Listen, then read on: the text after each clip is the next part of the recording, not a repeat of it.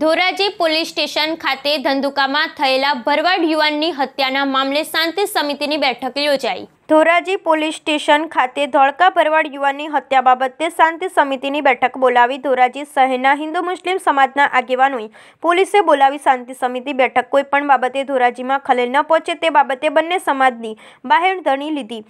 ધોરાજીના police inspector Aniruddhsinh ગોહિલે આગેવાનોએ જણાવેલ કે ધોળકાનો જે બનાવ બન્યો છે, જેમાં પોલીસ તમામ આરોપીઓને ઝડપી લીધા છે અને કાયદો અને વ્યવસ્થા બાબતે પણ પોલીસ સાધન છે ત્યારે ધોરાજીમાં શાંતિ રાખવા વિનંતી કરી હતી. આ સમયે હિન્દુ સમાજમાંથી કિશોરભાઈ ભરરાઠોડ, લલિતભાઈ વોરા તેમજ મુસ્લિમ સમાજમાંથી મકબૂલભાઈ ગરાણા, હમીરભાઈ ગોડિલ, બાસિત પાનવાલા વગેરે આ હિન્દુ મુસ્લિમ સમાજ વતી ધોરાજીમાં કાયમ શાંતિ રહેશે તે બાબતે પણ ખાતરી આપી હતી.